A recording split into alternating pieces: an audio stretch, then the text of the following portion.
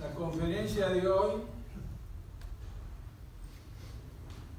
estará a cargo de nuestra reciente miembro del número, la señora Josefina Formieles de Nazarán Chorena.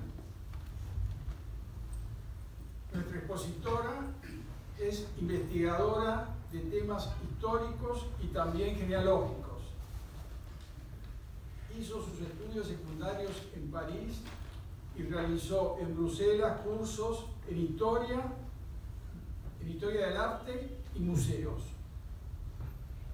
Desde julio de 2013 es miembro del número del Instituto Bonaerense de Numismática y Antigüedades. En ese instituto dictó una conferencia sobre Vicente y Ernesto Quesada, personajes estos sobre quienes desde otra perspectiva versará hoy su conferencia. En noviembre de 2019 fue designada miembro del número de la Academia Argentina de Historia. En ella disertó sobre los periódicos entre los años 1823 y 1850 a través de sus redactores. Es desde este año miembro del número de Escribió la señora Josefina varios libros. Palermo Chico, editado por la Fundación Frank Boston en noviembre de 2001, en coautoría con Mónica Roca Rivarola. El Imperio Austrohúngaro en el Centenario, publicado en octubre de 2009 en coautoría con Raquel Sainz de Sval, presentado en Viena el 12 de mayo de 2010. Los Cobos en Argentina, historia de los primeros Cobos llegados al país. Octubre de 2010, edición del autor. Del Mediterráneo al Plata, historia de Salvador Formieles Maldonado y Enriqueta Manzano Callejón, su origen en Almería, que lo publicó en 2013. Puerto Panal Fan Club, historia del primer barrio de Chacras de Buenos Aires, en junio de 2017. Palermo Chico, 1850-1910. Enfoque histórico del barrio en este periodo, que publicó en el año 2021. Es también autora de diversos artículos. En la revista de Historia de la Ciudad, escribió La cervecería de Palermo de la familia Dill, el Pigeon Club de Buenos Aires, también en la revista Historia de la Ciudad y multitud de artículos. Pablo Santillán, El corredor favorito de Rosas, Nicolás Mariño, La estancia jesuítica de Areco, La saga de los Urquiza, Diógenes y su hijo Alfredo, en fin, diversos artículos de nuestros temas. Eh, Josefina, es un gusto quedarte con, con nosotros. Adelante con tu conferencia. Muchas gracias. ¿Sí? ¿Oyen bien? ¿Oyen bien? ¿Ahora?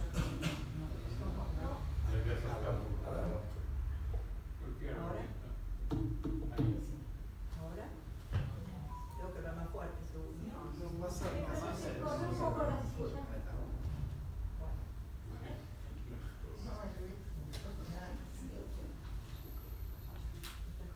No di el título de tu conferencia. Consideraciones genealógicas en torno al testamento de don Vicente Quesada. Sobre eso va a hablar nuestra expositora. Bueno, a ver. El micrófono, ¿cómo se pone? A ver, A ver.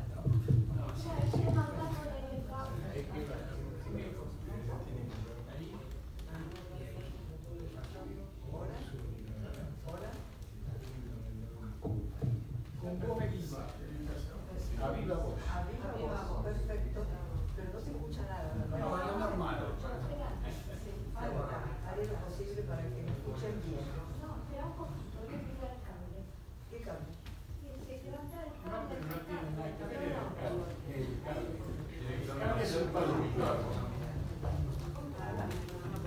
Hablo, ahí, pegada al micrófono, este es mi hijo.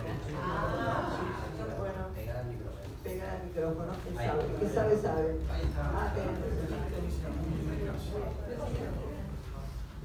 bueno, para empezar el tema y ponernos en ambiente, eh, conseguí dos fotitos de, eh, de Quesada, una ciudad que queda en Jaén, en Andalucía, muy cerca de Granada. Eh, esta foto, bueno, eh, Quesada fue tomada por los moros, en 1232 fue eh, recuperada, después vuelta a tomar por los moros, era un corsi ricorsi, y, este, y definitivamente en 1309 queda en manos de los españoles. Y ahí aparece un personaje muy interesante que es Pedro Díaz Carrillo de Toledo, adelantado de Casola y alcalde de Quesada, que es el primer señor de la ciudad, el señor, el primer señor que. Y su hijo, eh, Díaz Sánchez de Quesada, toma, Díaz Sánchez Quesada, toma el nombre de Quesada en honor a su padre, que fue el que eh, tuvo una batalla muy importante contra los moros, una victoria, y eh, justamente en la, ahí en Quesada. Entonces él toma Quesada como apellido. Y de ahí vienen, y venimos, vienen todos los que están acá en, Argentina, es, por todo el mundo que están, pero bueno, es el primero. Em, entonces, esta es una torre que hay ahí en, en, Quesada, donde se subían los, en los años, se llama la torre del infante Enrique, que se subían los eh, españoles para ver pasar o, los movimientos de las, em, eh, de las tropas nazaríes que estaban en Granada, que pasaban por ahí, entonces para defenderse o no. Es una cosa que queda en pie que es muy interesante de ver. Bueno. Es una especie de mangrullo. Tiene 10 metros 40 de alto por 5 metros de ancho.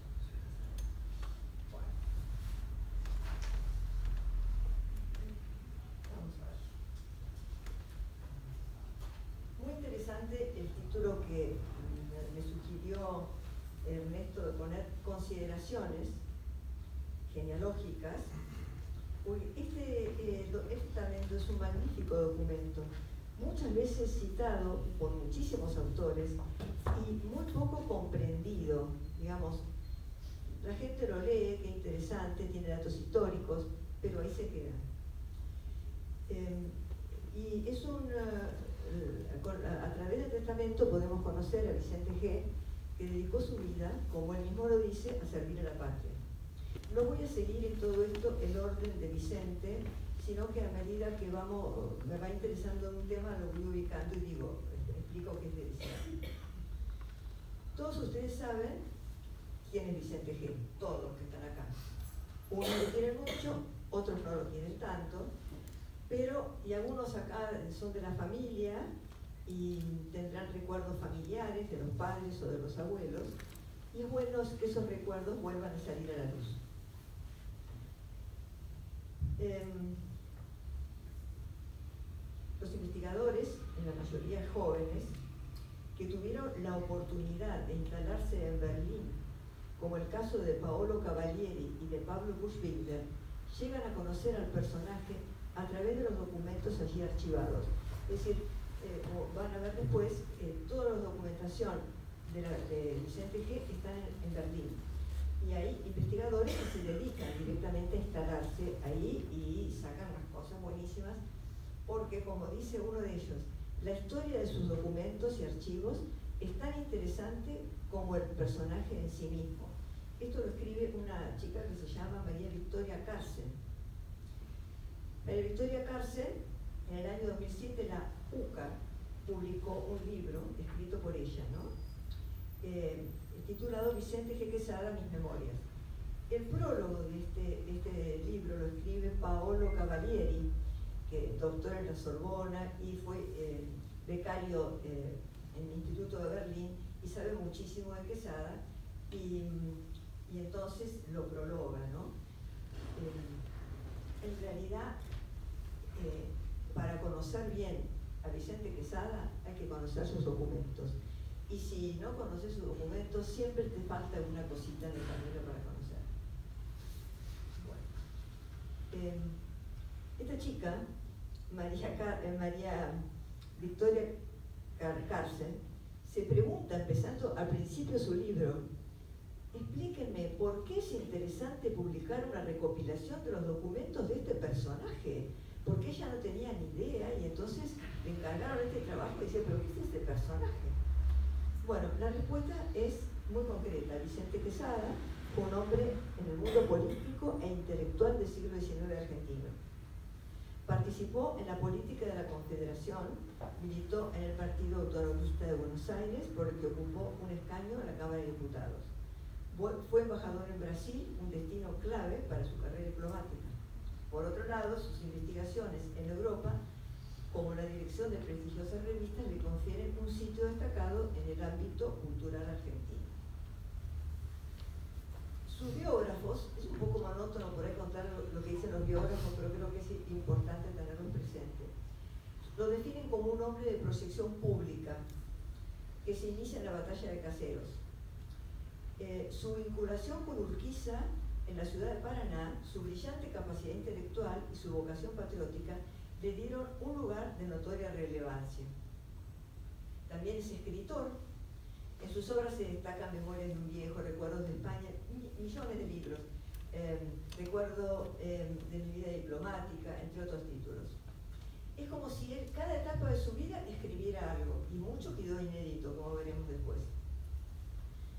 Fue asimismo un periodista, pero no un periodista como en el sentido que hoy día se trata el periodista, el señor que está atrás de la de las noticias, sino publicó revistas. Entonces es periodista publicista, en, los términos de esa época, ¿no? Y fundó la revista de Paraná, después la revista de Buenos Aires, la nueva revista de Buenos Aires. Em, y finalmente fue un destacado diplomático, eh, tuvo muy buenos destinos en Madrid, Brasil, México, Estados Unidos, en la Santa Sede, siempre cuando había algún conflicto importante lo llamaban a él para que, em, a ver, eh, tratara de, juntar las partes. Bueno, ahora pasamos al testamento en sí. Es una cosa curiosa. Em, casi al final de, es decir, no, no voy siguiendo el, el orden cronológico, al final del testamento, él dice, eh, dice un párrafo muy interesante que define la vida de la Argentina entre Rosas y el Centenario. Dice, por mi parte, por mi parte doy gracias a Dios, no, a la divina providencia, de que haya prolongado mi vida lo suficiente para contemplar a mi país enriquecido y pleno de prosperidad. Cuando me tocó, a raíz de la caída del gobierno de Rosas, asistir a los comienzos de la reorganización el acuerdo de San Nicolás y participar en la época difícil de la Confederación como diputado en el Congreso Nacional de Paraná, cuando el porvenir era complicado por ambiciones menguadas, nunca me faltó la fe en los destinos de mi patria y mi voluntad de conservar la unidad nacional por la razón o por la guerra. Ahí serían sus antepasados guerreros a, a su cabeza. Y hoy, pasados aquellos tiempos, y los intermedios hasta la normalización del Estado político nacional, muero contento admirando la gran nación argentina que soñé desde mi juventud. Claro, el testamento fue redactado en 1812, dos años después de la fiesta del centenario. Ah, perdón, 1912. Sí, gracias. Este, dos años después de la fiesta del centenario de la Revolución de Mayo. Como sabemos, ese año fue toda una fiesta en, Buenos Aires especialmente, y las grandes potencias nos regalaron monumentos, la Torre de Londres, el Monumento de los Españoles, fue realmente una, una buena carta de presentación de la situación de nuestro país. Y, para eh, Quesada fue el país que había soñado siempre.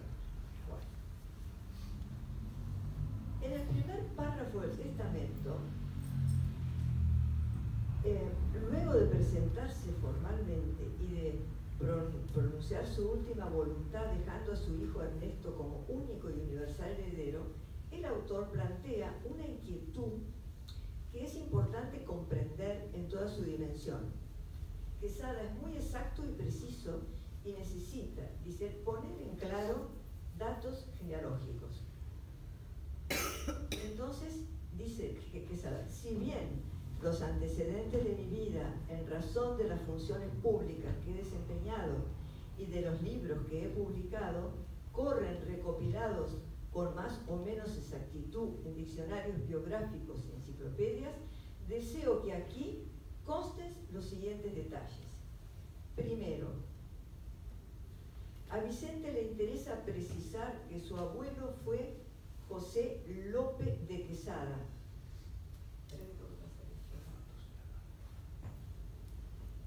acá eh, este, este escudo, historia de Quesada, em, está toda, es un papiro que lo tenía la, viñeta entre Lucila Quesada Urquiza y en realidad lo pongo en homenaje a ella que tenía un, gran cariño a su, a, su, abuelo y a su bisabuelo. Bueno, acá tenemos.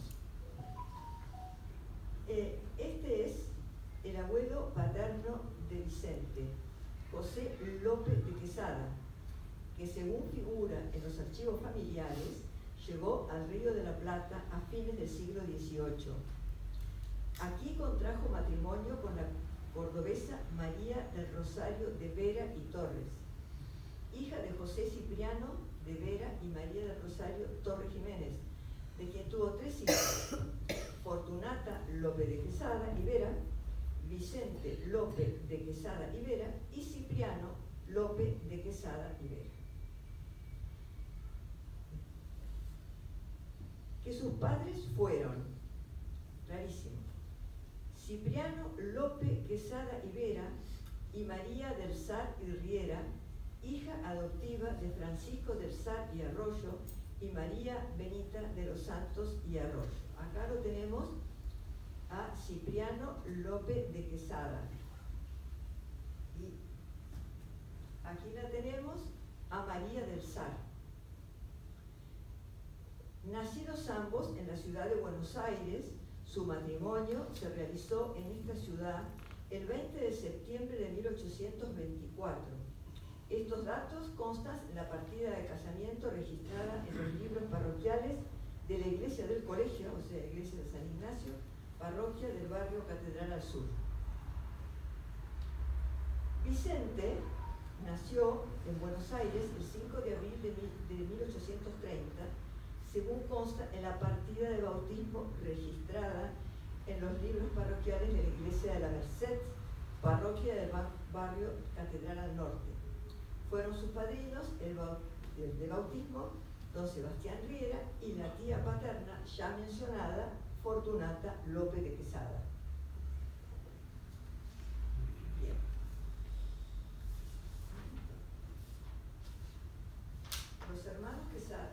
Los hermanos Quesada, del Sar fueron doce. Eh, Bernabé, Matilde, Ruperto, Vicente G., Cipriano, Máximo, Margarita, Mercedes, Francisco, Emiliano, María y hay otro Ruperto por ahí que debe haber muerto. Todo eso consta en el libro de familias de mis padres titulado Guía de mis hijos, 1830, hoy en poder de mi sobrino Emilio Quesada Piñeiro, uno de los hijos de mi hermano Cipriano. traté de conseguir ese libro, pero no está en ningún lado, ya desde eh, aquella época no existe más. Le pregunté a Emilio, a, a Cipriano Quesada, que es de esa rama, no, lo conocía. Bueno, la mayoría de todos esos hijos quedaron solteros. Solo tuvieron descendencia Bernabé. Ah, quería mostrarles también. Esta es una foto de Vicente G con sus padres Cipriano López de Quesada y María del Sar.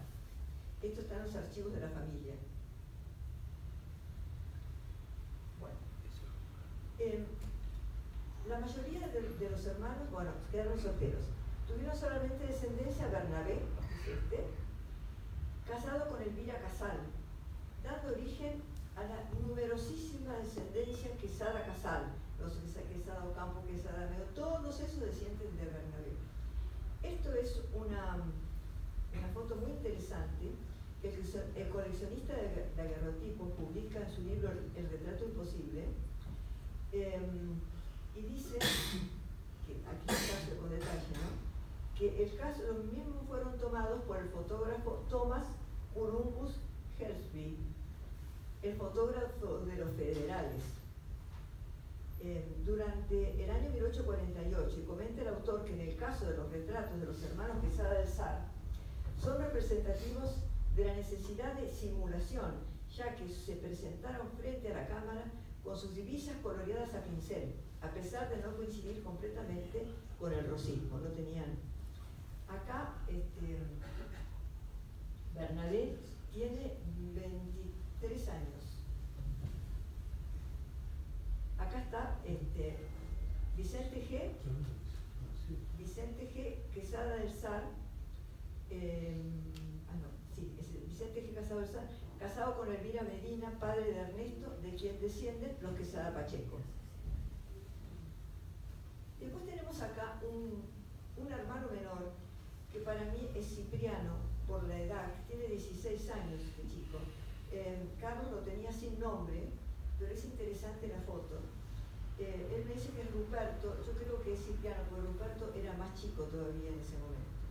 De todas maneras son interesantísimos los daguerrotipos y todos con el, el museo este, alrededor, ¿no? Todos daguerrotipos sacados en el mismo momento. Exactamente, por este mismo, por este mismo fotógrafo, exactamente, en 1848 sacó todos. Y por eso, por eso ubicar las edades. 23, 18, 16. Este, bueno, sigamos. Los hermanos Quesada Alzar formaban parte de una familia porteña de escasos recursos. Su padre Cipriano López Quesada era contador y se dedicaba a realizar liquidaciones en las sucesiones. Los ingresos eran magros para mantener ese familión. Sin embargo, logró que sus hijos todos estudiaran. Y el único que tuvo título universitario fue Vicente G., que llegó a ser doctor en jurisprudencia en el año 1855. Bernabé, o sea, Bernabé y Sara todos ellos, se dedicó a los negocios de la bolsa. Cipriano se dedicó al campo, realizando operaciones con frutos y animales. Máximo al negocio del saladero, ese se quedó soltero. Y la principal eh, actividad de Vicente, como veremos, fue la carrera pública y la política. Cipriano López Quesada falleció en el mes de septiembre de 1860 y María del Sar en el año siguiente. Sus hijos heredaron de él la preocupación por consolidar un sólido patrimonio.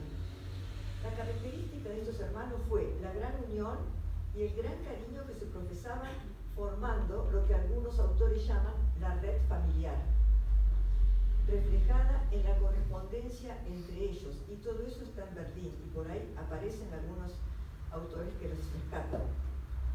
Eh, Bernabé le escribe Vicente, una familia como la nuestra debe estar siempre muy unida. Y el 24 de febrero de 1857, Vicente le escribe a Cipriano, eran muy compañeros Vicente y Cipriano, que se llevaban dos años, deseo con vehemencia verte porque no cuento con más amigos sinceros que con mis hermanos. Esto para que todos los descendientes sean igual. Bueno, el casamiento. En la cláusula cuarta del testamento, Vicente nos cuenta que el 28 de julio de 1857 se casó en la iglesia de la Merced con Elvira Medina, hija del doctor Ángel Medina y doña Isaac de la, iglesia. Los padrinos fueron el padre de la novia y María del Sar, la madre del novio. De este matrimonio nacieron tres hijos, dos mujeres que fallecieron y Ernesto, bautizado en la iglesia de la Merced, con los nombres de Ernesto Ángel, el primero de junio de 1858, siendo los padrinos, refiere Vicente, su padre, Cipriano López Quesada, y su cuñada eh, Isaac Medina de, Boneo. Bueno, pero este, este casamiento duró poco. Em, Pablo, Pablo Bushbinder comenta que en 1864 Vicente decidió dar fin a su vínculo matrimonial con Elvira Medina. Las prolongadas negociaciones, ah, perdón, las prolongadas este, ausencias y traslados de Vicente fueron deteriorando la relación. Acordó con su suegro, no con su mujer, la separación de los bienes comunes y una vez terminados los acuerdos resolvió hacerse cargo de la formación y educación del hijo, es decir, se lo llevó a vivir con él. La situación bastante conflictiva, pues la madre no se resignaba a no estar cerca de su hijo, que tenía solo seis años. Cursaba el colegio San José y en una ocasión el rector de la institución tuvo que mediar en una discusión entre los cónyuges. Ernesto, por, su lado, continuó teniendo relación con su madre, inclusive cuando estuvo en Europa, este, se, carteaban bastante, y ella muere grande, ya en 1909, dos o tres años antes que, eh, que Vicente. Bueno, la educación de Ernesto en realidad no está en el testamento, pero me parece importante que la tratemos brevemente porque une mucho al padre y al hijo y llegan a tener una relación entre ellos casi con fuerte como una cadena. Entonces, en el año 1873, Vicente, de 42 años de edad, realiza su primer viaje a Europa junto con su hijo. La primera mm, parada fue Inglaterra, donde visitaron a Juan Manuel de Rosas, la famosa visita de las Quesada a Rosas que todos los, eh, autores comentan. Eh, Ernesto tenía 15 años. Allí en medio de la campiña iglesia se encontraron con ranchos criollos de aspecto, mm, el, aspecto de, una pequeña estanzuela de, Argentina, dice Quesada. Al volver al hotel en Southampton, Ernesto siguiendo la indicación de su padre, transcribió detalladamente la entrevista. Años más tarde, plasmó las impresiones y todo, describió toda la entrevista en el libro de su autoría Los unitarios y la traición a la patria. Nunca estuvieron muy de acuerdo Ernesto y su padre con este tema, pero bueno, se querían mucho. Era, era, era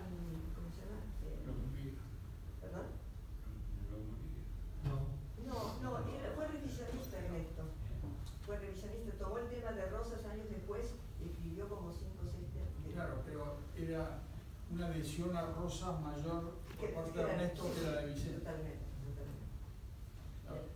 Vicente eh, tuvo noticia. Exactamente. Bueno, durante dos años que duró el periplo europeo, Vicente tuvo varias eh, misiones que cumplir porque el Estado, el gobierno argentino le encomendó realizar un recorrido para estudiar e investigar la, mejora, la mejora del Estado argentino, la mejora del funcionamiento del Estado argentino en el tema de, de la cultura. Entonces, este, Quesada buscaba la generación de un conocimiento útil para el país y para sí mismo también, porque él era, ya era un obseso en el tema cultural. Un punto importante fue eh, visitar las bibliotecas de las Naciones Cultas. fruto de eso fue un libro que él, era el, director de la Biblioteca Nacional, de la Biblioteca Pública ahora. Bueno, eh, el libro se llamó Las Bibliotecas Europeas. Apareció en 1875. Y tenía una obsesión porque su hijo Ernesto fuera culto y que tuviera cuanto más eh, conocimientos mejor. Y sobre todo en idiomas. Y escribía a Buenos Aires diciendo, por favor, eh, la, gente tiene que conocer idiomas si no lo conocen el mundo. Y, le faltaba eso, a, los criollos le faltaba totalmente esa, visión internacional. Entonces él decía que tenía que saber idioma conocer la ciencia.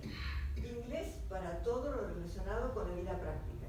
Y el francés porque era la, la, lengua que contribuía a popularizarlo todo. El que hablaba francés sabía de todo. Eh, tenía bastante razón. Bueno, la correspondencia intercambiada entre el padre y el hijo se encuentra en el Instituto Iberoamericano nuevamente y una de ellas sirve para muestra. El 13 de noviembre del 73, estando en Nápoles, Vicente le escribe, en todas partes no ceso de pensar en ti, en mi hijo querido, ausente, porque es necesario que se prepare para las luchas de la vida. A su vuelta a Buenos Aires eh, participaron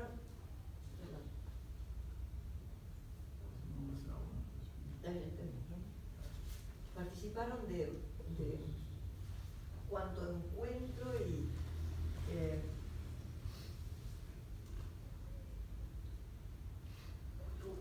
reuniones de historiadores, eh, cosas por ejemplo se dedicaba a, documentos de historia y literatura, y por otro lado anticuario, colección de objetos y medallas. Era un obsesivo de coleccionar, era un coleccionista compulsivo, Vicente. Fue en ese momento que Ernesto asistía, entusiasmado, chico todavía, a las reuniones de los numismáticos y entró en el tema de los numismáticos y presidió toda su vida. Bueno, tenemos que recordar, o, no lo hemos dicho, pero ahora digo ahora, que este, Vicente empezó su biblioteca personal en el año 1850, apenas eh, siendo estudiante de Derecho, más o menos, y Después su hijo continuó con la, biblioteca, que llegó a tener 82.000 volúmenes, 82.000 volúmenes que están en Berlín. Bueno. La íntegra, intacta. Sí, no, aparentemente durante la guerra hubo una parte que usaban, las usaban a los libros para las trincheras. Y ahí se deshizo mucho, pero se conservó bastante. 82. Bueno, volvemos al testamento. Eh, Vicente deja constancia que el casamiento de Ernesto con Eleonora Pacheco se celebró el 19 de junio de 1882. En ese momento se encontraba el ministro diplomático argentino en Río de Janeiro, fue representado como padrino por su antiguo amigo, el general doctor Benjamín Victorica, a la sazón ministro de Guerra, y fue madrina la madre de Leonora, Laura Bunke de Pacheco.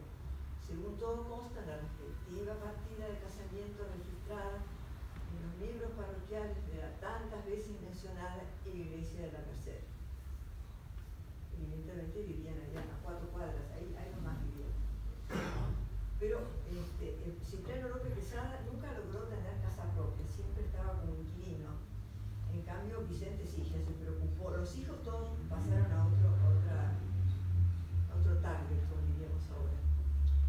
Bueno, y entonces ahí eh, Vicente se extiende en una explicación entre, sobre las donaciones que realizó en vida a favor de su hijo dice, y lo he hecho gustoso por el amor que siempre le he profesado y profeso a mi dicho único hijo, Ernesto porque deseaba que por su parte, detalle, incorporar a su matrimonio con doña Leonora Pacheco tanto o más de lo que ésta aportó sucesivamente por herencia de sus padres, a fin de establecer una igualdad de dote de fortuna entre ambos cónyuges. Fuera y lo logró, aparentemente, pero después Ernesto la funda, la mujer, pero eso ya no está en el testamento, eso no, no, no, a contar ahora. Bueno, este, entonces, eh, eh, él empieza a explicar todas las cosas que le entrega Ernesto. Dice, y los títulos de los, fondos públicos que tenía depositados en el Banco de Londres y el Río de la Plata, y el complemento eh, en dinero a fin de que comprara la casa de la calle Paraguay, número 1253 y 1255, que linda con la mía de la calle Libertad frente a la Plaza Libertad, y la completa formando una propiedad considerable con sus salidas a dos calles. Entonces, esta, esta es la calle Libertad, al fondo, totalmente al fondo, antes de, antes de cruzar, eh, él vivía en la calle Libertad, donde era una época la, la casa de las secretarias o una cosa así, ahí vivía. Entonces, a la vuelta compró, a la vuelta compró este, en la calle Paraguay y se unían por atrás. Y la biblioteca en un momento se movía y se podía pasar por adentro.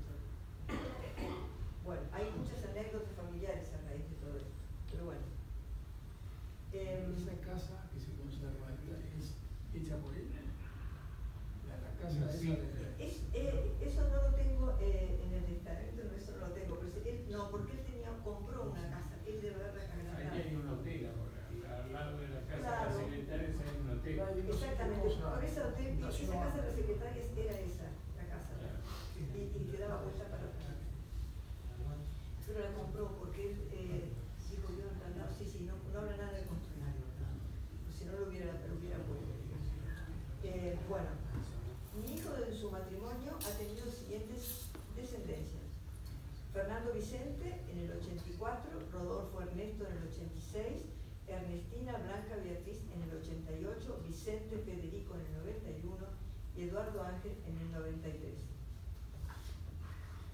Además ahí agrega que eh, todos mis nietos bendigo y viven, agregando que mi nieta Ernestina se casó el 21 de octubre del año pasado con Héctor Guerrero. Están todos los guerreros, todos esos son descendientes, en realidad la única descendencia que tiene Vicente. Y adora a sus nietos. Ahí, eh, eh, ahí termina la parte genealógica, por decir así, y él habla de una, en una segunda parte lo que le deja a su hijo en herencia, y lo hago yo. Hacia mí me hubiera mandado, dejado eso, creo que Porque es una cosa muy interesante. Él quiere que toda su, su herencia la compre el gobierno argentino.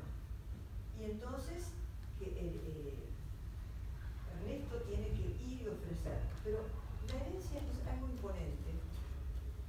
Fíjense lo que son las antigüedades. Los libros y la colección numismática. Todo, no, tallas. Entonces acá tenés muebles, tallas antiguas, especialmente españolas, italianas y francesas. Asimismo, tallas modernas, objetos tallados en madera, columnas, mesas, sillas, era espejos con marcos de madera, todos esos pertenecieron a personajes Durante mi estadía en Madrid, un amigo, el pintor Moreno Carbonero, clasificó todas estas antigüedades por siglos, o sea que lo tenía todo clasificado. El segundo ítem, tapices. Una serie de tapices flamencos, uno de ellos adquirido a un agente autorizado perteneció al emperador Carlos V y ese tapiz lo compró por consejo del nuncio apostólico Monseñor Di Pietro. Esta serie estaba compuesta por 13 tapices. Si el gobierno argentino no los compra, que mi hijo los venda en Europa, donde son muy buscados. acá hay una pared, acá hay una pared donde se ven los tapices. Ahí, hay tapices abajo, tapices arriba. 13 tapices. No, el plus ultra. Y después papeles y libros inéditos Ernesto se encargará, Ernesto se encargará de editarlos oportunamente. Esta es una carga que le impongo, sin plazos y si sus recursos y su tiempo lo permiten. Lo autorizo e impongo a que solicite al Congreso de la Nación a que dé los fondos para poder hacer ese trabajo, porque dice que él cuando estuvo trabajando para los límites con Chile, nunca cobró ningún honorario. Entonces considera que el, el gobierno tiene que editar toda su obra. Ernesto no lo consiguió. Eh, y después en un momento dice, le dice a su hijo, mis manuscritos requieren inteligente y paciente revisión. Le pido a Ernesto que se ocupe de esta tarea. yo considero que es una tarea ciclópea, casi imposible de realizar si no tenés un equipo de gente que te dé una mano y, el dinero para, para pagar toda esa Lógicamente, Ernesto murió sin poder realizar todo eso porque el gobierno argentino no se interesó, no, quiso comprarlo, pero no era el momento. Ahora, sí. A mis nietos y descendientes, ahora viene la parte de los nietos, que él amaba, ¿no? Que cuando lleguen al final de su vida puedan decir a sus, de, de sus hijos lo mismo que yo digo del mío, que siempre respetó a su padre. Era una una, una relación, un mandato. Siempre respetó a su padre, él al hijo. Y el hijo lo respetaba realmente, pero quiere que todos sus descendientes tengan ese lema en su cabeza. Y bueno, y a mis nietos les recomiendo especialmente que amen y sirvan a la patria, según sus aptitudes e inclinaciones. A la patria se la sirve en todos los órdenes de la vida. Y ahí dice, bendice a su hijo y a su nuera y a sus nietos. Entonces ahí dice, bueno, y habla con el albacea y uno piensa, bueno, ¿qué le va a dejar a los hijos y a los nietos? ¿Le va a dejar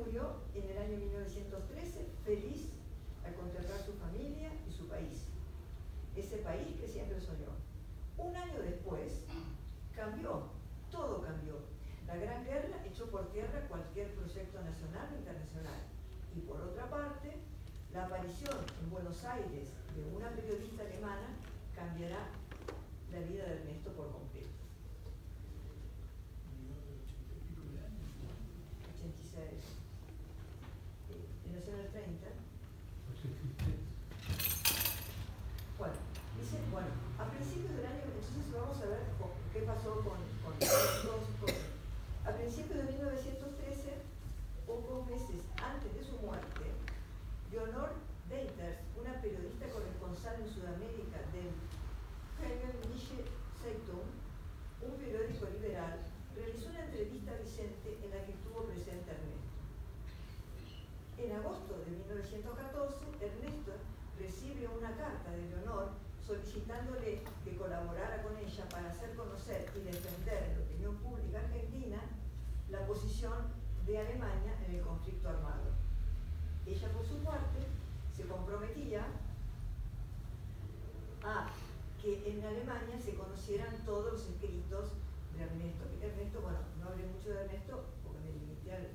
Ah, Ernesto fue Polifons eh, juez y tuvo una carrera muy importante y perdió toda la plata en la época de la bolsa. Eh, así fue un poquito eh, la historia de Ernesto, pero fue una persona inteligentísima. En 1919, finalizada la, la guerra, Deiters viajó a Buenos Aires para unirse con Ernesto, permaneciendo juntos en esta ciudad hasta el año 1927 en esos años, Ernesto trató infructuosamente de, vender la, biblioteca y todas las cosas al gobierno argentino en un momento. Este, Arce creo que se había eh, entusiasmado muchísimo, pero al final el tema se enfrió y no lo hicieron. Entonces, este, por supuesto inspirado por eh,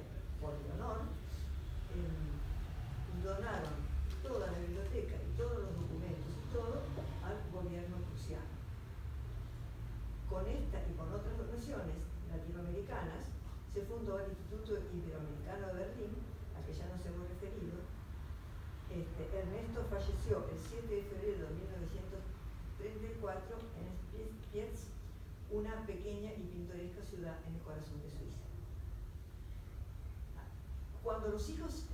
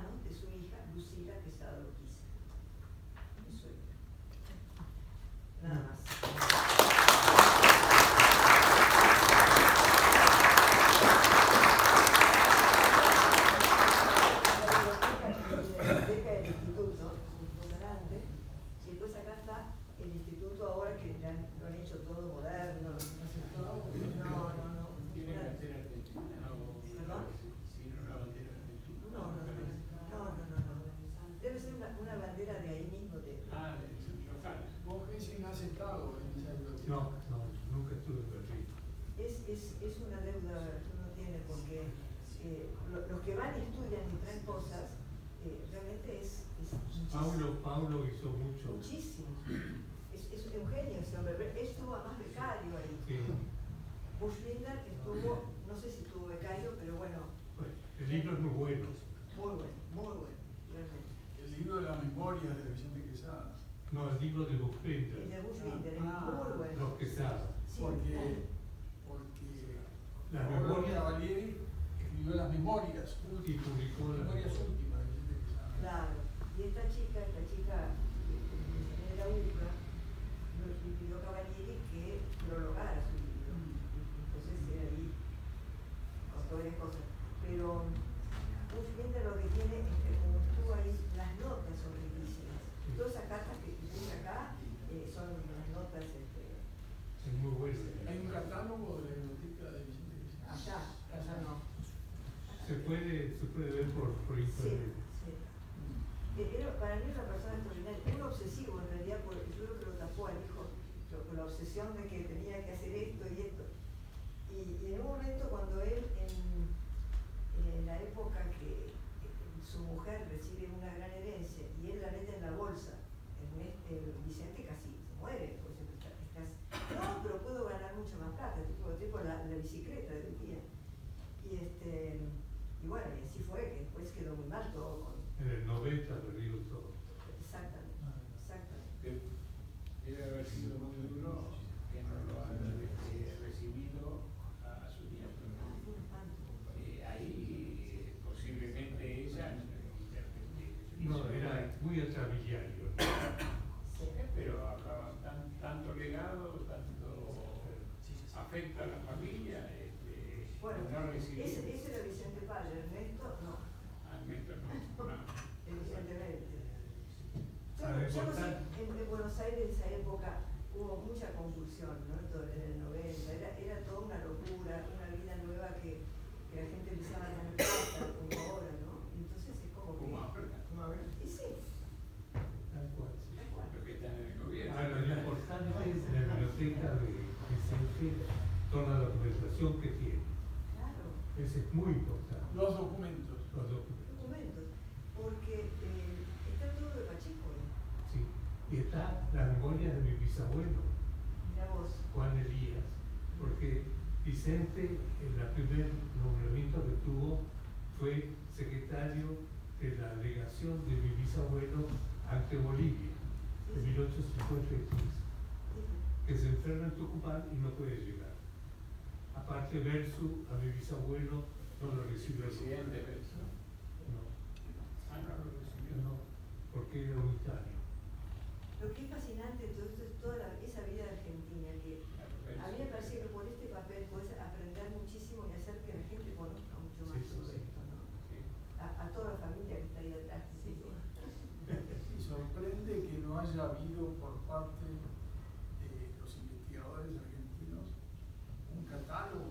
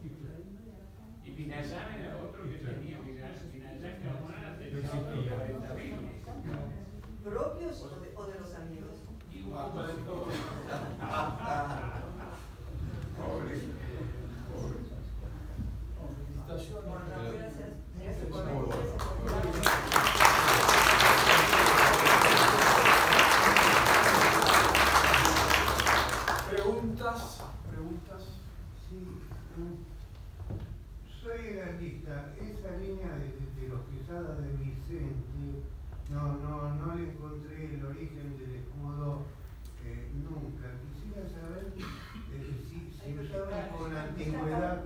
Eh, está, sí, sí, ese, ese que ahora le voy a tomar sí, una sí, foto. Lo simplemente. Pero de qué época es.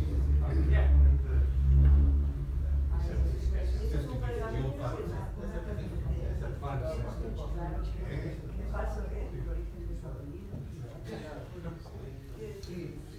Sé si eso El realmente. escudo, yo cuando fui a ver a un, a un rey de armas en Madrid, fui con un escudo que traía mi familia, que es ese con, con tres, eh, tres eh, armiños en cada, Exactamente.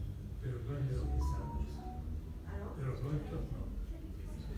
Él me dijo, no, a usted le corresponde el escudo quesada con los cuatro armiños en cada palo de plata. Y probablemente a los de López de Quesada les toca lo mismo, que es el primigenio escudo de los señores de García. ah, De García. García. Ah, Vos estás tapando.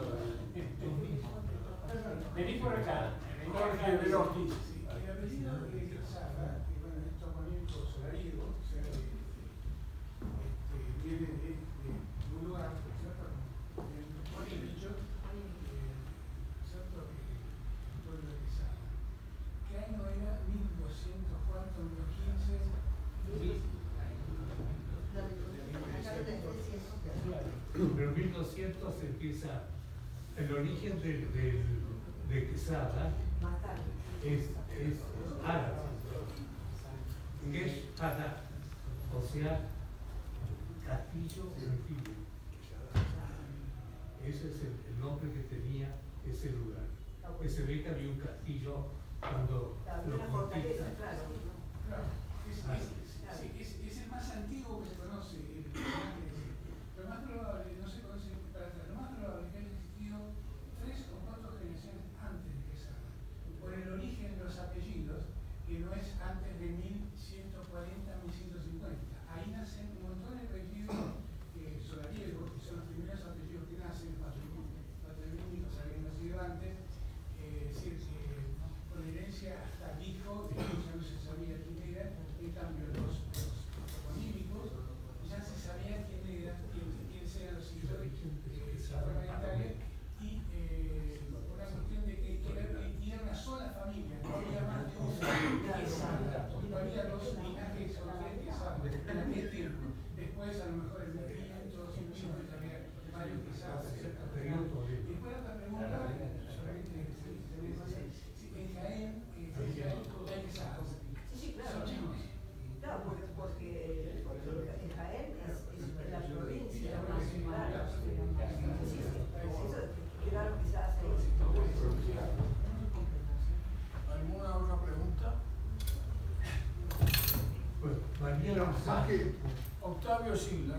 sí, no, más que una pregunta es un comentario que me llamó la atención que la casa donde vivía don Vicente, ahí en Libertad, entre Paraguay. Y Charcas, debía de ser la misma o al lado de donde vivía don Carlos Ibarburen, que él menciona en la historia que yo he vivido, que, bueno, que vivía ahí por un lado y después por otro que presenció y participó en alguna medida en la revolución del parque que la veía desde la puerta de su casa. No sé que serían amigos o conocidos, En, evidentemente. to- en toda, en toda esa, esa, plaza alrededor, to- eh, había, había casas de los Pacheco, los Solardo Riego, toda una cantidad de familias este, am- amigas, por decir así. Claro, y en la revolución del parque, el general el cabo de porque le, le dan cuenta.